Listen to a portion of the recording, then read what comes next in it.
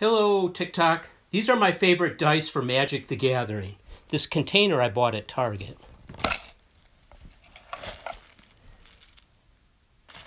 And I believe I bought these really cheap on Amazon. Every color.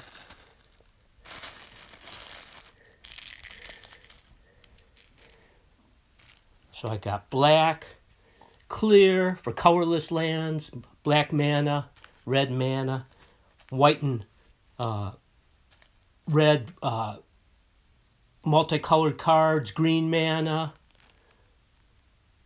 That's black. This was purple, sorry. Uh, blue, white, mana.